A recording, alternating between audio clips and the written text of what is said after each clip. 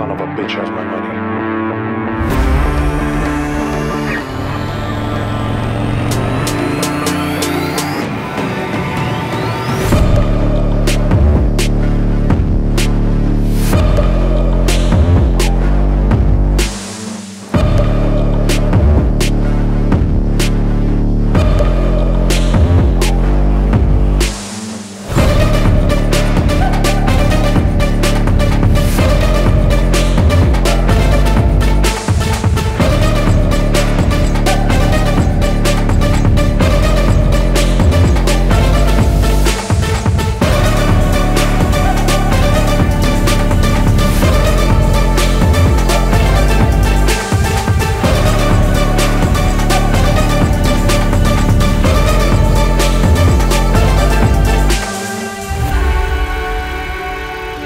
Either way, I'm going to go through.